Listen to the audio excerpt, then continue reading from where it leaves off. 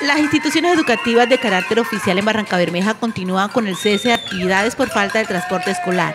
Hoy, en horas de la mañana, los estudiantes del Colegio José Antonio Galán se trasladaron hasta las instalaciones de la Secretaría de Educación, donde realizaron en las afueras de la entidad un cacerolazo.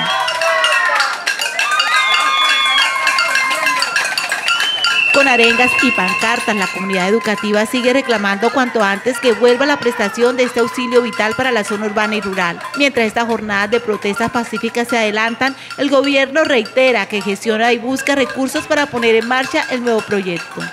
Asimismo, durante varias horas la vía Barranca Bermeja-Bucaramanga a la altura del corregimiento La Fortuna fue bloqueada con manifestaciones que hicieron los docentes y estudiantes, así como padres de familia del Colegio Agropecuario, quienes solicitan la presencia de las autoridades municipales, por lo que ellos llaman incumplimiento en el plan de alimentación escolar y transporte. El paso estuvo restringido en ambos sentidos viales de esta vía departamental. Estudiantes de todos los cursos participaron de esta protesta. Sin embargo, por ahora no se descarta ni confirma la continuidad de este servicio del transporte escolar. Por ahora el municipio en su zona rural y urbana se mantienen en la normalidad académica.